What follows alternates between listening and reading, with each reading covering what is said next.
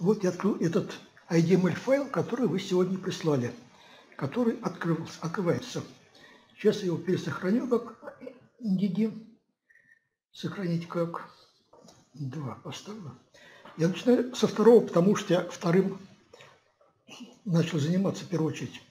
Будем работать с указателем, поэтому я сейчас мастер страницу тут чуть-чуть доработаю. Я тут рисую фрейм, ставлю в него маркер показа текущей страницы.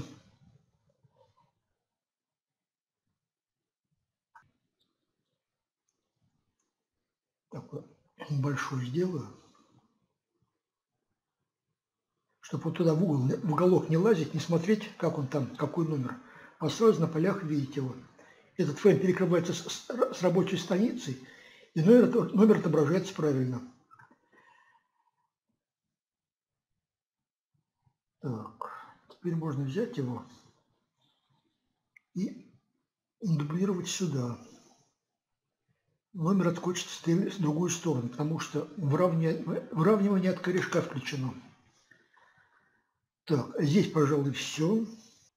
Вот так эти номера выглядят. Они за пределами, в то же время они такие глазастые. Номер здесь не увидишь, а здесь прочитать легко. Следующая идея. Следующая идея. Вот смотрим флора и фауну. Вот тут есть Макара 2, Патала 2, Талака 2, а первых нет. Первые в другом месте находятся. Краунча 1, здесь Краунча 2 должна быть где-то. Вот, Краунча 2. Значит, если мы эти фреймы, точнее, если материалы каждого указателя будут отдельным самостоятельным текстовым блоком, не, не будет один общий, поток, один общий поток, то тогда вот эти цифры, они не будут конкурировать друг с другом. То есть только в том случае, когда они стоят рядом, будет такой, таких случаев будет мало, когда вот Аламбуш 1, Аламбуш 2, вот они стоят рядом, их надо как-то решать. А вот тут Краунч 1, Краунч 2, и это очень просто делается, ни, никак не влияет на нашу верстку, делать просто гибче и удобнее. Идем сюда, вот наша флора и фауна. Вот она здесь начинается, тут кончается. Сейчас у нас это вот один такой общий поток у славу содержания затекает, и то хорошо.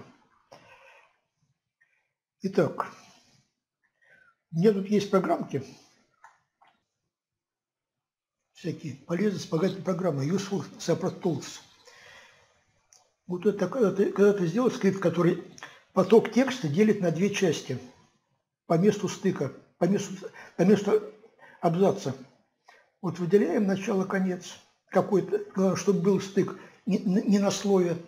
И вот здесь есть разделить статью на два, на два фрейма. Вот Split Story Move работает быстрее, чем Story Cut Paste. Я оставил только для тех людей, кому интересно это, как это плане скриптинга устроено. Вот это работает быстро. Все. Это один поток, это второй. Надо только восстановить. Вот почему-то.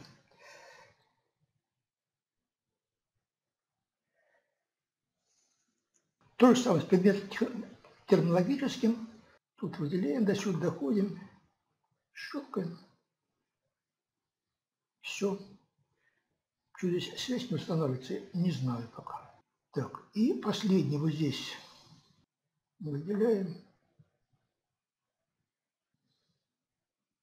Но здесь указатель сначала начинается, литература сюда не затекает, значит здесь все в порядке. Итог у нас каждый указатель в своем отдельном текстовом потоке. Вот это Первый указатель, мы сегодня попадаем. Вот второй указатель. Вот третий. Ну и четвертый. Так, теперь у нас есть экселевский файл. Вот флора фауна. Нужно брать здесь. Всегда нужно брать вот эту колонку и вот эту копировать, создаем новый файл. В данном случае средняя колонка нам не нужна. И вот это самый простой случай у нас он, тут пробел потерян. Вот его можно сохранять уже как флора и фауна. И это уже готовый файл. Это флора table 2, да? Я назову флора table, вот, хэштег добавлю здесь в начале. Потому что он будет один тот же, на самом деле, туда и туда. Просто флора table. Сохранить. Готово. Вот наш файл Ромайна. И вот наш первая таблица. Теперь запускаем скрипт. Скрипт, значит, будет пока то, что я вам дам. Annotation Data версия 2, вот это. Запускаем его. Поставить курсор в предметный указатель. Мы флору и фауну сейчас окучиваем. Поставили. Перешел сюда. Ставим курсор сюда. Поставить. Вот. И все, что сейчас нужно сделать, это работать вот этой кнопкой. Заменить, ну, наверное, надо заменить. И этот флажок пока не трогал. То есть вот эти пока что кнопки работают. Остальное пока что я над этим подумаю. Так, ну опять со шрифтами там, а ну да, я же открыл а e-mail файлы, шрифты не, не подгрузились. Сейчас сделаю. Ну вот что у нас получилось с этими шрифтами. Флору и фауну мы закончили. Здесь надо будет поиском замены, наверное, повторные.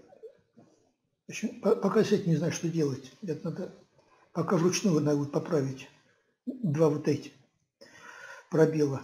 И тут уже два пробела лишних. Но это много мелкой работы будет. Итак, с одним указателем мы закончили.